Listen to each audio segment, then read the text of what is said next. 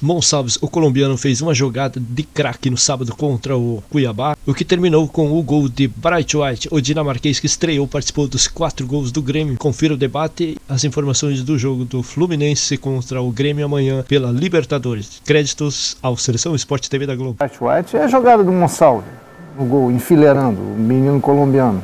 É, ele ganhou alternativa. É, então, passou a usar o Monsalve, o Arezo teve teve uma, uma controvérsia, que ele não, não botou no banco num jogo, o Aravena ele usou pouco até agora, mas ele ganhou alternativas, jovens, jogadores de futuro. Acho que é um bom caminho do Grêmio esse, inclusive. E, e o experiente é o Bright White.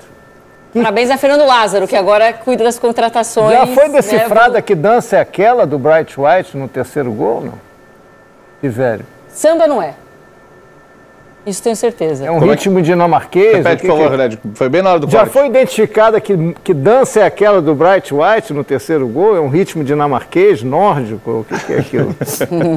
é, vamos ter, vamos ter que ir atrás para descobrir, né? Mas teve gingado, não é? Não pareceu é, aquele... Molejo, aquele molejão. Não era muito duro, não. Parecia... Tinha um gingadinho, tinha um gingadinho. LED gostou. O importante é que o LED gostou. Como, como é, é, como é dinamarquês, legal, é um, foi, foi um molejensen. Bom, depois dessa eu vou me despedir do Divério. Divério, obrigada pela sua participação aqui no Seleção. Valeu. Ai, Lédio, Lédio, Lédio. Não, deve ser, Bom, mas você viu? Eu vi, claro que eu vi, assisti o jogo. Impactou. Eu estava aqui assistindo todos os jogos para fazer o tem troca. Tem caixa para fazer aqui. Troca balada, né? Aquele troca que começa depois da meia-noite. É, ou quase meia-noite. É, é, puxado. Vamos às informações do Fluminense. É, tá bom. É muita intimidade, vamos lá. e aí, Jona, Ana, Thaís, Ramon, Lédio. É, não, pior que eu pensei nessa roupa hoje pro Lédio, que eu sempre me vi pensando nele, achei que ia agradar e desagradei. E amanhã vai estar tá frio aqui, só tem esse casaco. Essa jaquetinha aí, tá essa de, jaquetinha é da época de Nova York, né, Bruno? Pô, Joana, você que me conhece, não é o LED, exatamente, Joana, exatamente. Essa aqui não tem erro. A jaqueta é Abaixo é barata, 10 graus, ela cara segura é a passagem. Bonito. Exatamente, exatamente. vamos lá, Eu não queria falar isso pro LED para ele não ficar chateado, entendeu? vamos lá, vamos lá. É, bom, Fluminense hoje chega aqui a Curitiba à noite, ainda treina, está treinando agora, na verdade, está terminando o treino no Rio de Janeiro, o último antes dessa partida, e vamos ver se a gente consegue informações de, de, desse último treino para ter indícios de que time vai a campo amanhã, porque é um Fluminense que tem algum, algumas dúvidas, pelo menos. O Serna, por exemplo, que entrou no time, né, né, veio nesse meio do ano, entrou bem, jogando bem no ataque, já não jogou contra o Vasco, uma lesão na panturrilha, é dúvida para esse jogo.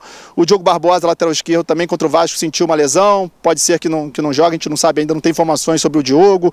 O Marcelo já não, já não joga desde a partida contra o Juventude, né? Quando ele entrou no segundo tempo, em dois minutos em campo, sentiu. Então, para a lateral esquerda pode ser um problema. Esquerdinha seria uma opção. O, o, o Fluminense em relação a, por exemplo, Thiago Silva, esse é certo, esse vai para o jogo. Não jogou a última partida do Thiago Silva contra o Vasco, foi poupado. Tinha a questão ali do gramado sintético do, do Newton Santos.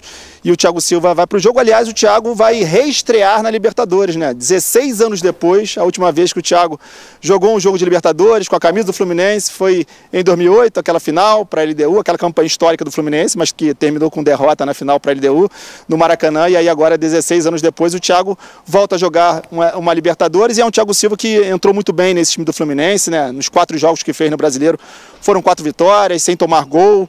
É, é um Thiago Silva que, que certamente o torcedor que já viu ele jogando, voltou, voltando a jogar o Fluminense, já ficou com saudade porque não, não atuou, por exemplo, contra o Vasco, o time sofreu dois gols e sofreu a derrota. Então o Thiago Silva vai para o jogo nesse Fluminense que, que, que a gente vale dizer que acho que é um caso à parte Libertadores, né? Porque tem sido o ano do, do, Fluminense esse ano de 2024, que é um Fluminense muito mal, né? Que não consegue repetir boas atuações como no ano passado, no Brasileiro zona de rebaixamento, apesar dessas quatro vitórias seguidas, continua lá entre os quatro últimos, mas na Libertadores passou muito fácil pela primeira fase, primeiro lugar o tempo inteiro do grupo, já na penúltima rodada já tinha garantido não só a classificação como primeiro lugar no grupo, está 14 jogos invicto na Libertadores, se contarmos os jogos do ano passado, né? Última vez que perdeu na competição sul-americana foi o jogo contra o River na primeira fase de grupos. Então, para o torcedor do Fluminense que, que anda desanimado e triste com as atuações do, do, do time na temporada, a Libertadores pode ser algo que, que, que mexa e mexa de forma positiva com, com esse time, né?